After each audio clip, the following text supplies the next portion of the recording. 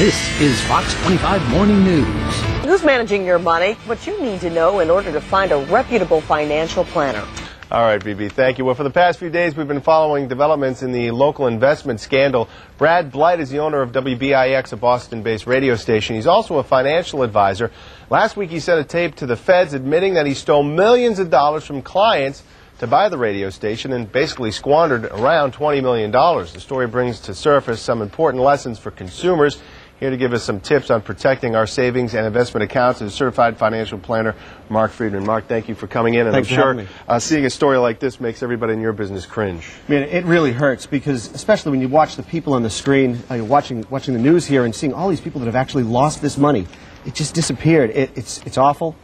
Um, and something can be, hopefully something can be done about it. How do you know that you could trust your financial planner or advisor? Well, the first thing you need to do I've always felt is that when you hire a financial planner, you want to look that financial planner in the eye and see them on a regular basis. Dealing with financial planners that you meet through the radio, through some solicitation in an advertisement, through the phone, you've got to begin to wonder what kind of credibility is the person you're dealing with. Mm-hmm. You want to meet them face to face. And you need to uh, also, I mean, is there something you can do on your own to watch it once you once you you uh, sign up with somebody or, or agree to give somebody your money?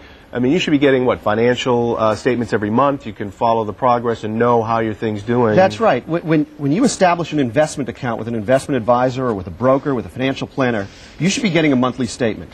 And now with the advent of the internet, you can get access to your values every single day. I mean, the passwords are there for you to be able to get that information. You should be able to know that the prices of the investments that you purchase are moving daily.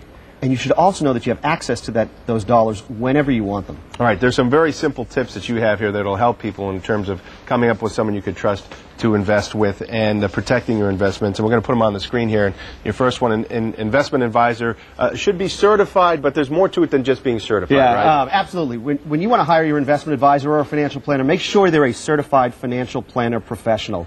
That's a very specific designation that's given to certain folks to follow what's called the four E's. They must abide by a code of ethics. They have to have a certain educational standard. They have to have experience, and there's ethics that are involved in that process.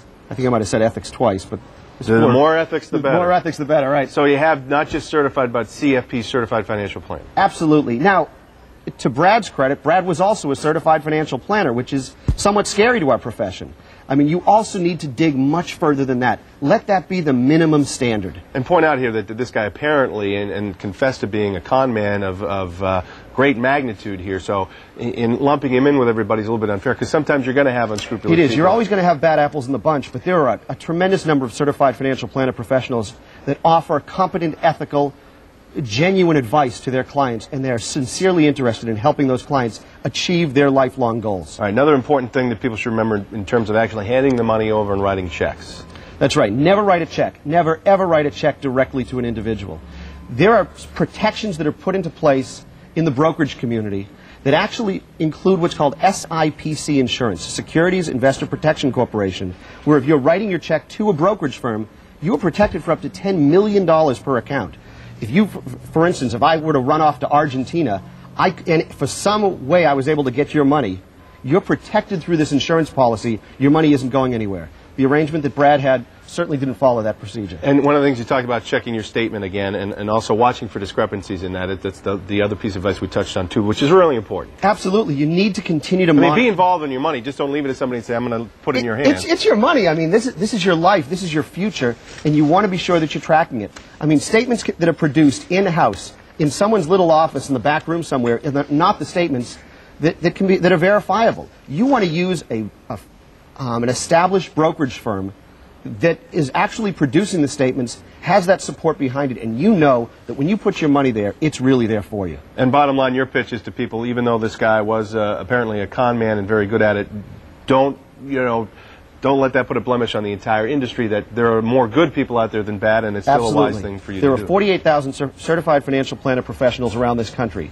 Every profession is going to have its bad apples, but there are dedicated, competent, ethical planners there to serve the needs of clients throughout this country. All right. Be involved in what you're doing, bottom line. Absolutely. Marc, thank you for coming in. Appreciate the thank advice. You very, very much. timely considering what's been going on in the news. Right now, we want to send it upstairs. Doug Meehan has got Sky Fox Airborne now, and he's checking the roadways for us. Morning to you, Doug.